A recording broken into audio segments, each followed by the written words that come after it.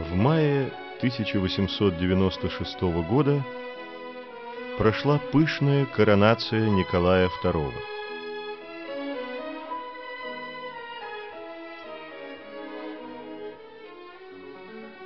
Его жена, императрица Александра Федоровна Гессен-Дармштадтская, принцесса Алиса, их дети Ольга, Татьяна, Мария, Анастасия и Алексей.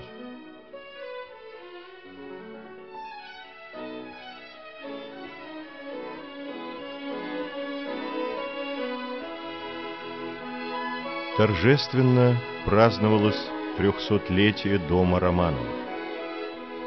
Через несколько лет произойдет крушение этого могущественного дома, и они будут похоронены под его обломками.